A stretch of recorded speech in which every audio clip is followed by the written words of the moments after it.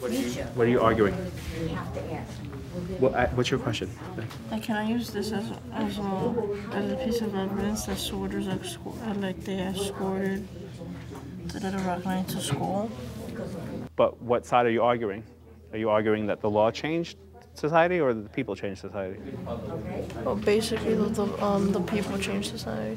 Okay, so if that's your argument, that's the evidence you need to look for. How people change society. So when you're reading your document, look for the strongest piece of evidence that will back up your opinion.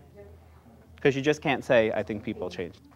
Because there's no evidence to back that up. Well, obviously. Um, because they did like they protested peacefully without any incidents happening.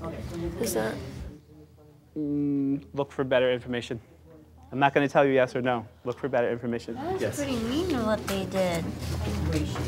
Oh, yeah, I agree with you. Why would they do that because of her color? She didn't do anything. Okay, so now go back to the, the question. Did the law or did the people For the people. society? Because there's some people who disagree with the people who hated her.